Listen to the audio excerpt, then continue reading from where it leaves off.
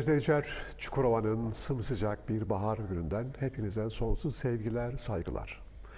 Şu an çok heyecanlıyım çünkü son zamanlarda sürekli beraber olduğum, sohbet ettiğim, konuştuğum, beraber gezilere katıldığım ama çoğu kez Adana'nın tarihi fotoğrafları veya Adana'nın eski fotoğraflarını önümüze koyan, paylaşan çok saygıdeğer iki insanla, iki dost insanla beraberim ve onların dünyasından Adana'mızın görsel tarihini şöyle bir harmanlayacağız ve size açıklayacağız.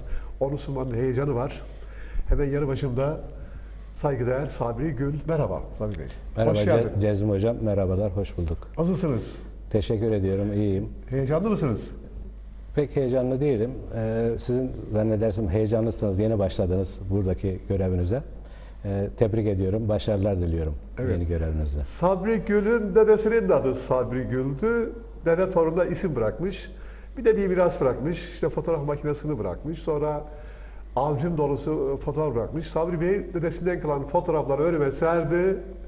Şu an dünyanın en kıymetli bunlar, hazineleri.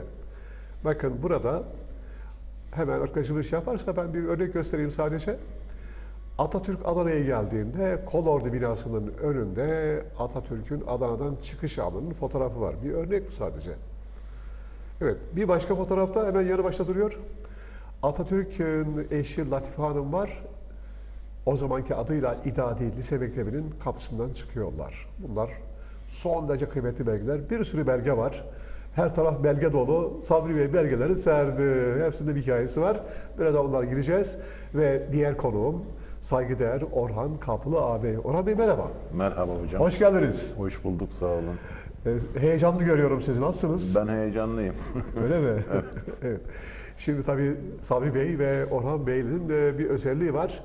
Son yıllarda Facebook'ta bir grup kurdular. Adana'nın eski fotoğrafları. Tabii grubu kuran bu insanlara olan ilgi, sevgi, yastık altından, albümlerden, duvarlardan, arşivlerden nerede varsa Adana'nın fotoğrafları gelmeye başladı. Sonra yağmaya başladı. Hazineler birikti. Bağ oldu, bahçe oldu. Benim nazarımda bu iki insan birer fotoğraf bahçıvanı. Ama ben diyorum ki sizin fotoğraf tarlanız var. Benim kitap tarlam var. Bunların fotoğraf tarlaları var. Sabri Bey kaç fotoğraf oldu?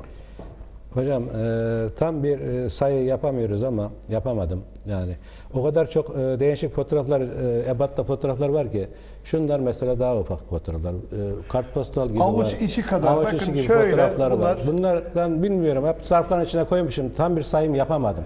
Yani Şu fotoğrafı alır mısınız? Bakın avucumun içinde küçük bir fotoğraf var. Evet geldi. Muhtemelen bu 1940 ve 50'lere yıllara bir fotoğraftır. Bunun da bir anlamı var. Bunun gibi pek çok fotoğraf var. Sabiha Gökçen Adana'ya gelmiş. Bakın bir kıymetli belge hemen şöyle tutuyorum avuç içinde. Sabiha Gökçen'in Adana'ya geldiği zamanki fotoğrafı. Daha pek çok belge var. Biraz onlara gireceğiz. Evet, e, ne kadar fotoğraf oldu Sabri Bey? De- hocam dediğim gibi e, tam bir saymadım ama tahminim yani ben Adana'ya eskiden e, ilgilendiren 100-150 tane diyordum ama yani ben o gün e, bayağı bir karıştırdım bu hafta fotoğrafları bir karıştırdım. Yani bine yakın siyah beyaz bende fotoğraf var. Aile, Sadece aile sizdeki dışı. aile fotoğrafı var. Bin tane, bine yakın var. Bin, bin taneyi de geç, geçmiş olabilir yani. Tam bir sayım yapamadım. Evet. Yani bu sırf aile fotoğrafı değil. Adana'yı ilgilendirenle beraber bir fotoğraf kümesi. Yani sizin aile fotoğrafınız bin civarında. bin civarında siyah geçer de yani bin civarı diyorum ben. Ben bin, e, evet, bini de geçer. dedenizden kalımlar değil mi Sabri Bey'den? Çoğu dedemden, nenemden, işte öbür e, aile, anamın, e, tar- annemin tarafının akrabalarından e, fotoğraflarla beraber bini geçkin fotoğraflarımız var. Hemen karşıya bir fotoğraf e, makinesi var. Ona bakabilir miyiz? Evet, Evet. Orhan Bey. Şimdi eski bir fotoğraf makinesi. Şöyle tut bakayım. Bu Nedir hala faal bir e, vaziyette çalışıyor. Hala çalışır mı? Evet çalışır filmini koyarsanız zaman? takılırsa ama şimdi filmler bunun pek kalmadı. Kalmadı, E, evet. Banyosu da zor olur zannedersem. Kaç yaşında bu fotoğraf makinesi? E, zannedersem bu bir asıra yaklaşmış. Yüz 90 yıllık. 90 küsür senelik Tarihi. bir Alman malı Voigtlander marka bir e, körüklü bir makine. Makine. E, dedem bundan e, bayağı bir fotoğraf çekmiştir. E, bu ailede de bir fotoğraf çekme e, merakı var. Hala, halalarım çekmiş mesela. O zamanlar halam e, 1926-28 yıllarında iki tane halam vardı. Onlar da fotoğraf çekmiş bu makineyle. Babam çekmiş. Ben de çektim. Ortaokul yıllarında e, bu makineyle Bundan ben çektiniz? Evet, bundan ben çektim. Peki şu an piyasada bunun filmi var mıdır? O hani şey var ya e, içine takılmış. Yani araştırılsa belki Adana'da bul- bulunabilir ama e, bunu banyo edecek e, şeyler de yani o kalmadı. Artık öbür makineler çıkınca bunların pabucu dama atıldı derler ya bu hatıra olarak e, bende duruyor.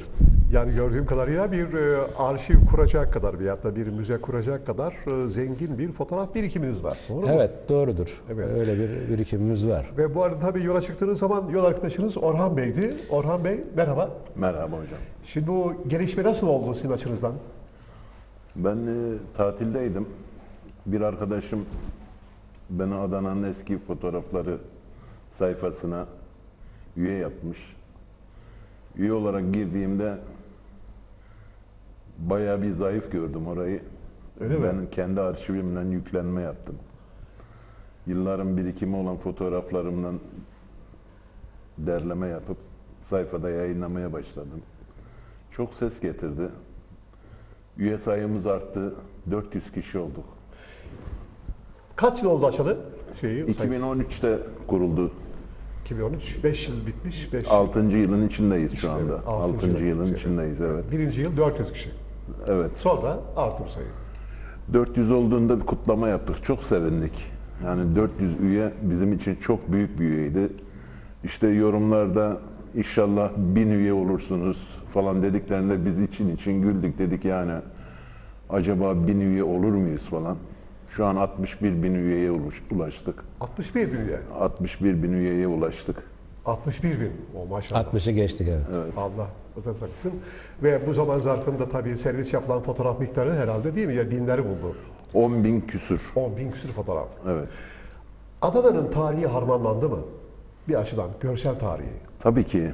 Şimdi bizim amacımız zaten istedik ki bu fotoğraflar karanlıkta kalmasın, gün yüzüne çıksın. Adanalı'ya ışık tutsun. Evet. Adana tarihine ışık tutsun. Okullarda öğrencilerimize basındaki canlı e, televizyonda olsun, e, yazılı basında, görsel basında bunun çok ses getirmesini istedik ve amacımıza ulaştık. Yazılan kitaplar yeniden yazılmaya başladı diyebiliriz. Peki sizin e, fotoğraflara bakaraktan kitap yazanlar oldu mu? Başta siz. evet doğru. ben kitap yazdım. Kitap yazmakla da kalmadı. Bir fotoğraf e, Kurtuluş Savaşı Müzesi'nin açılmasını sağladı. O da bana ilham kaynağı oldu. Tabii çok ilginç bir olay, unutulmaz Evet. bir olay. Bunlar bizi gururlandırıyor. Bizleri umutlandırıyor. İnanın bizim e, 10 bin fotoğrafa ulaşmamız bizi çok şaşırttı. Bu kadar fotoğraf var mıymış? İnanır mısınız ilk başladığımızda e, yazılı şey, basında olsun, görsel basında olsun bunların e, bu kadar çoğalacağını kimse merak etmiyordu. Evet ve şu an bir e, hazine ortaya çıktı. Hazine Adana'nın Evet. görsel tarihi, binlerce fotoğraf, insan ilişkileri, tarihi binalar, önemli tarihi olaylar. Yani bir kare fotoğraf e, bir olayın dondurulmuş, durmuş hali ama her fotoğrafın ayrı bir hikayesi var. Biz tabii bu konuşmadan sonra isterseniz bir film izleyelim. Sabri Gül konulu, evet kısa film ekrana geliyor bizi geçtiğinde.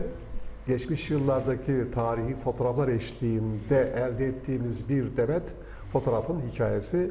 Evet izliyoruz Sabri Gül filmini.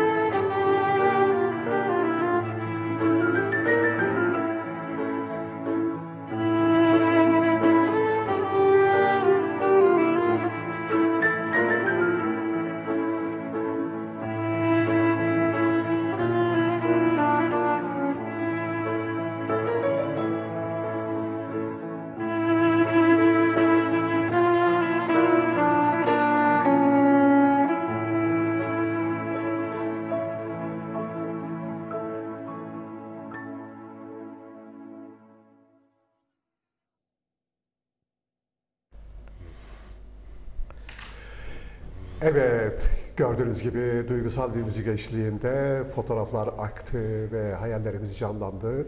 Adana'mızın eski fotoğrafları bizi geçmişe götürdü.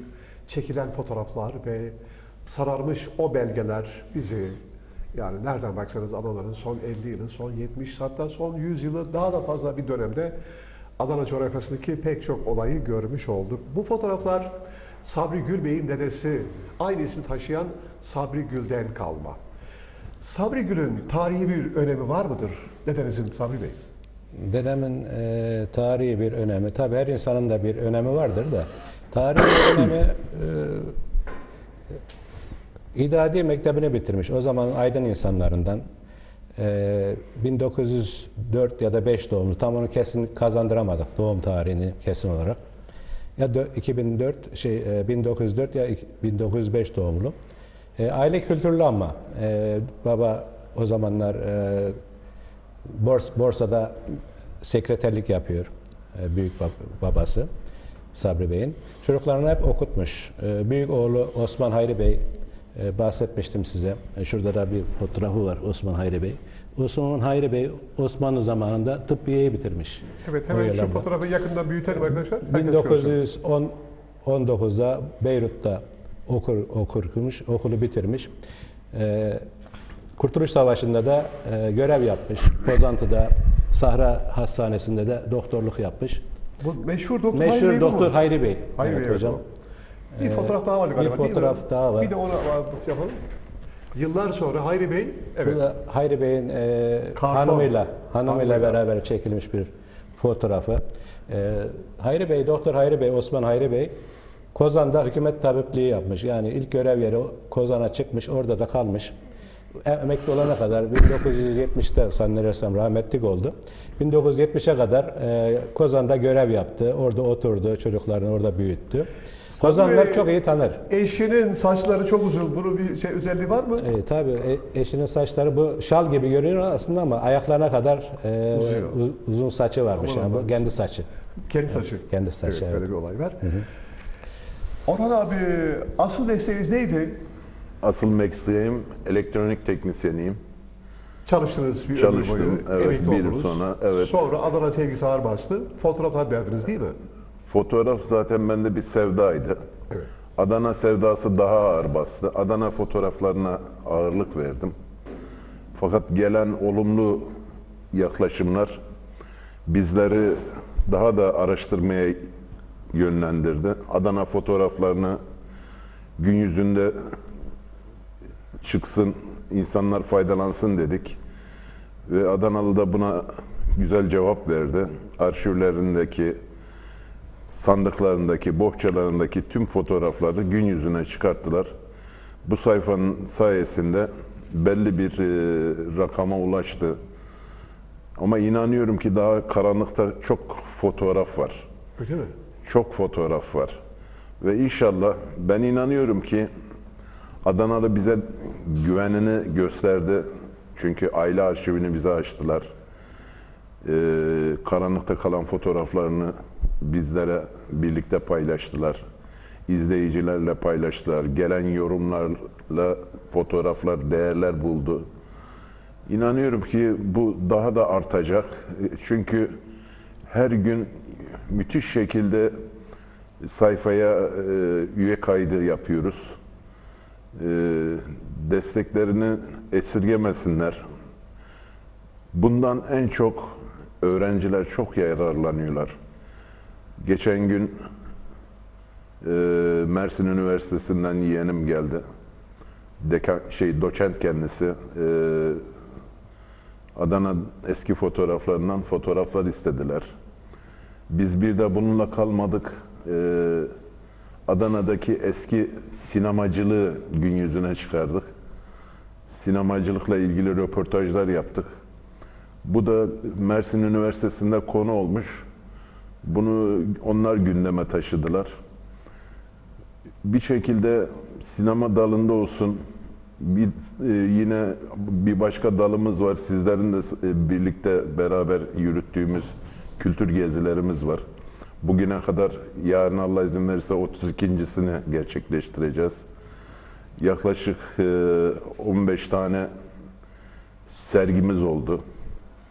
Ee, sergilerimizde Adanalılara sunumlar yaptık. Derneklerde, okullarda sunumlar yaptık. Ee, bu yüzden gururluyuz, onurluyuz. Evet böyle söylüyor Orhan Bey. Şimdi biz tabii bu bir ışığında tarihe bir yolculuk yapacağız. Daldan dala konacağız. Gökyüzünden Çukurova'ya bakacağız. Albümlerdeki yıllarca üzeri kapanmış fotoğraflar ekrana getirilecek ve Adana'mızı anlatacağız. Adana'nın eski fotoğrafları. Adana'nın eski fotoğrafları unutulmuş bir tarihin, tarihin kaybolan sayfalarının ortaya çıkarılması anlamına geliyor. Evet bu bilgi ışığında biz şimdi arşivimize dönelim. Arşivimizdeki evet hangi fotoğraf ekrana geliyor onu hemen görelim ve onun üzerine konuşalım. Evet bekliyoruz fotoğraflar arkadaşlar. Şimdi karşımızda bir fotoğrafçı, elinde körüklü bir makinesi var. Ben bu fotoğrafı Adana'nın eski fotoğraflar Facebook sayfasından aldım. 2017 yılında paylaşılmış. Bu fotoğraf kimindir Sabri Bey? Bu fotoğraf bir değerli abimiz var. Burhan abimiz.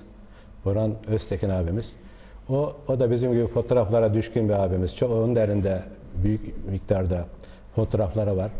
O e, arşivi bize açıktır. Ne zaman isterseniz gelin bakın alın götürün sayfanızda paylaşın der. Ha, Burhan Bey'den size Burhan geldi. Bey'in e, arşivinden bu bize geldi. Adı belli mi? Aleminüt fotoğrafçısı bu ama adı belli değil. Şahsın, belli değil. Şahsın adı belli değil. Zannedersem bu Türk Ticaret e, Bankası vardı eskiden. Şimdi meydanlık oldu. 5 Ocak meydanlığının oldu. Orada çok e, maliye de vardı. Maliyenin altında böyle aleminüt fotoğrafçıları vardı sırayla. Var. Ben çocukken hatırlıyorum. Fotoğrafçılık bir meslek o zaman. Meslek tabii bir meslek. E, orada işte devlet dairelerinde işi olanlara vesikalık fotoğraf, hatıra fotoğrafı çekenlere çekerdi. Ya ben öyle hatırlıyorum. O zan- zannedersem o yıllarda öyle bir bıçkın adamın da tipi bıçkın tipli bir adam. Şapkası da yan çevirmiş işte oradan objektife bakarken e, şapkasını yan tarafa çevirmiş. Öyle bıçkın. Benim de çok hoşuma gitti o fotoğraf. Çok fotoğraf vardı da bu fotoğraf çok hoşuma gitti. Bunu aldım ben. Peki arkadaşlar şimdi Adana'nın son 100 yılına şöyle baktığımız zaman en ünlü fotoğraf e, tarihe not düşen şahıs kim? Sizin bildiğiniz.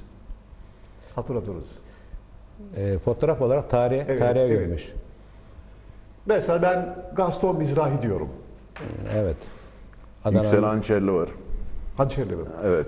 Ona bir anlatır mısınız Hançerli'yi? Yüksel abi Evet. Adana'ya çok büyük emekler vermiş. Bütün Adana'yı, çevresini, çevre ilçeleri fotoğraflamış. Ee, bayramlarda, gösterilerde hepsinde fotoğrafları çekmiş, iyice düşünmüş, iyi düşünülmüş, bugünleri düşünmüş ve o resimler bugüne aktarıldı. Ee, onun gibi birçok e, şeylerimiz var. E, Mesela ben biliyorum e, Gaston Mizrahi'nin fotoğrafları olmasa biz Kurtuluş Savaşı'mızın görsel gerçeğini bilemeyiz yani. Göremeyiz. Çünkü Gaston Mizrahi Yahudi asıllı bir fotoğrafçı. Evet. Galiba Fransız İşgal Kuvvetleri Komutanlığı onun fotoğraf çekmesine izin vermiş ya da görev de vermiş. İlaveten onun da bir e, atölyesi var Adana şehir merkezinde. Çekilen fotoğrafları baskı yapıyor, üzerine damgasını basıyor ve pek çok olayı kayda almış yani Adana'da. İşte Fransız komutanının istasyona gelmesi dahil, Fransız uçakları, şehir merkezi, o zamanki resimler muhteşem yani. Onun sayesinde biz ancak Tabii Garo'yu, e, komutan Garo'yu falan tanıyamazdık. Yani evet. Onun fotoğrafları sayesinde bugün hala gündemde duruyor. foto yıldız vardı. Evet. Başka Kaspralı vardı. vardı. Gas- Moto moda. Moda, Ee, eski, evet. eski Başka? moda. Ee, İbrahim Hançerli işte Hançerli Bey'in babası. Yıldız diye bir fotoğrafçı var. Yıldız. Foto Yıldız. Foto Venüs varmış. Venüs var, evet, Foto Venüs. ünlü bir fotoğrafçı. Ee, Konak Oteli'nin orada. Bir de Taşköprü'nün çok fotoğrafını çeken bir şahıs daha vardı galiba değil mi? Hani bu hep onun damgaları falan görükür şey üzerinde. Foto Raşit vardı. Yani Raşit bazı Emir fotoğraflarda dedemin fotoğraflarında hep Raşit imzalı foto, e, imzalı fotoğrafçı var. Fotoğrafı çeken Raşit ama tabii basan başkasıdır burada. Değil mi? Olabilir. Evet. Raşit Ener, evet. Evet, bunun gibi değerli körüklü makineyle fotoğraf çeken insanlar Adana şehir merkezinde, ilçelerde mesela ben Kadirliliyim, e, Kadirli'nin o yıllara ait e, fotoğrafları geldi. Çok şaşırdım. Demek ki Kadirli'de, Kozan'da, Osmanlı'da her yerde bunlar var. Görevini yapmışlar. Sanırım onların büyük çoğunluğu hayatta değil ama onların bıraktığı fotoğraflar bize tarihi hatırlatıyor diyoruz. Hemen yeni bir başka fotoğrafa geçelim arkadaşlar. Ekranda arşivlere gelecek. Evet merak ediyorum. İkinci bir fotoğraf ekrana geliyor. Geldi. Evet. Karşımızda bir demet fotoğraf. Ben bu görüntüyü sanırım iki sene önceydi. Sabri Gül ve Orhan Kapılı ile görüşmelerimizde masanın üzerine koyduk ve bir toplu fotoğrafını çektik. Sabri Gül'den kalan bu fotoğrafların önemi neydi? Torun Sabri Bey diyeyim ben şimdi size. Şimdi hocam, e, dedem 1919-20'de İdade'nin son sınıf öğrencisiymiş.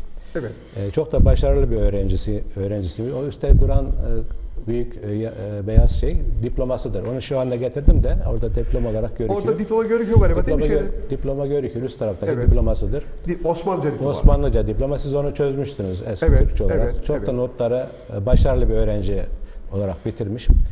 E, Atatürk'e de çok yakınlığı varmış. Yani o yıllarda Atatürk 1923'te e, Adana'ya geldiğinde Türk Ocağı'nda Türk, çiftçileri toplayıp Adana ahalisini ileri gelenleri toplayıp bir konuşma yapmış.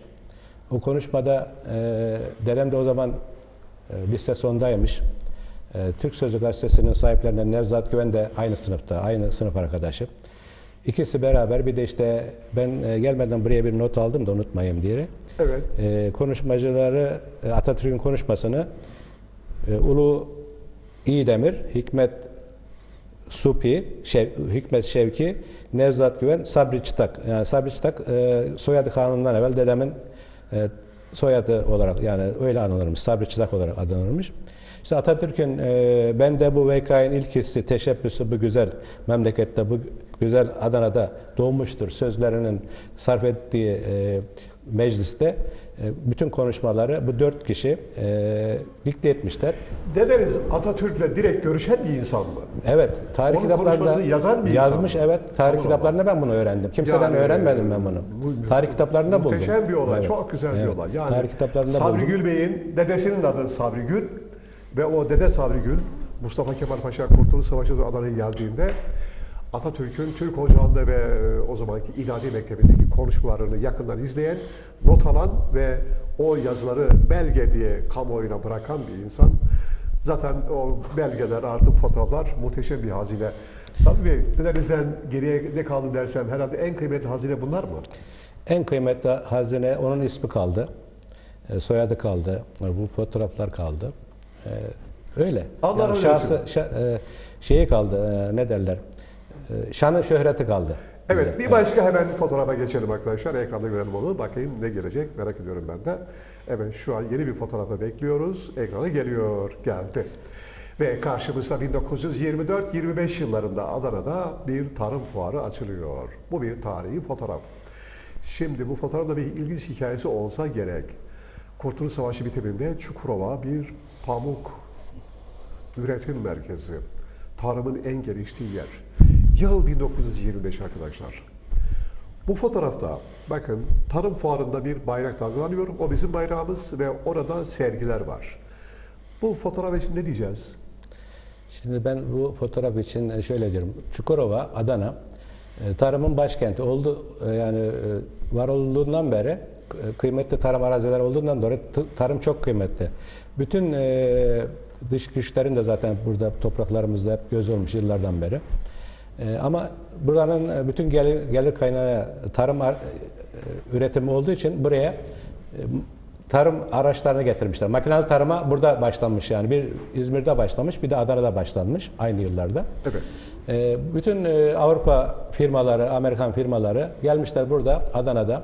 Zannedersem e, istasyon civarında yer olarak tespit etmişler. Yani oradan trenlerden e, mal şeyler, arabalar, e, araçlar rahat insin diye. Demirköprü civarında. Oraya böyle bir tarım fuarı kurulmuş ve bütün firmalar getirmiş orada tarım aletlerini e, sergilemişler. Yıl 1924. 1924. Evet, yirmi. Evet. Orhan Bey ne diyeceksin bu konuda? Adana'nın eee, ihtiyacı olan modern tarımcılığın ilk adımı diyebiliriz. Bu olay. Evet, bu Adana'ya gelen ilk modern tarımcılığın başlangıcıdır. Ee, İtalyan firması katılmıştır. e, Fiat marka traktörleriyle. E, tabii ki bu dünyada ses getiren olaylar. Muhteşem bir olay. Yani Muhteşem bir olay. tabii ki fuar tabii ki yani ve Adana'da açılması e, tabii ki güzel bir şey. Çiftçileri bunlara kolaylıkla ödeme kolaylıklarıyla vermişler. Çünkü Adana'nın toprağı çok değerli biliyorsunuz. Evet. Pamuğu çok kaliteli. Öyle olunca onlar için bir şey e, öyle olunca da burada tabii ki